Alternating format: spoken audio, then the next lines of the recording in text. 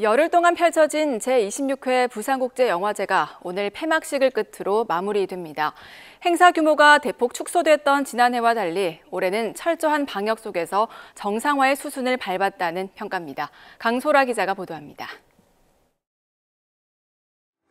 영화제의 마지막 밤을 알리는 레드카펫이 깔렸습니다. 관객들은 아쉬움을 뒤로하고 배우들에게 박수를 보냈습니다. 폐막식은 올해 영화제를 빛낸 작품들에 대한 시상으로 이어졌습니다. 아시아 신인 감독 작품에 주는 뉴커런츠상을 포함해 5관왕을 차지한 김세인 감독의 같은 속옷을 입는 두 여자는 화제작으로 떠올랐습니다. 올해 영화제는 관객 7만 6천여 명이 찾았고 특히 개막식은 코로나19 이후 1000명 이상이 참여한 국내 첫 국제 행사였습니다.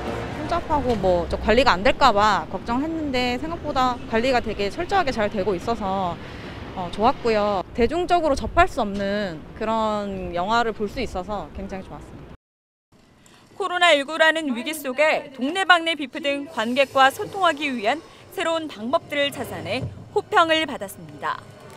온스크린 섹션을 만들어 시리즈물을 상영해 플랫폼이 아닌 콘텐츠 중심의 시대 흐름을 반영했고 영화제 콘텐츠의 저변을 넓혔습니다.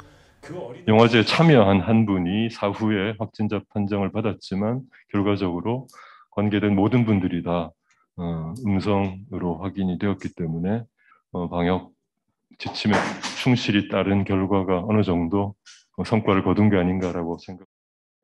반면 영화 상영이 50분 지연되는 등 이딴 운영 미숙으로 관객들의 질타를 받기도 했습니다.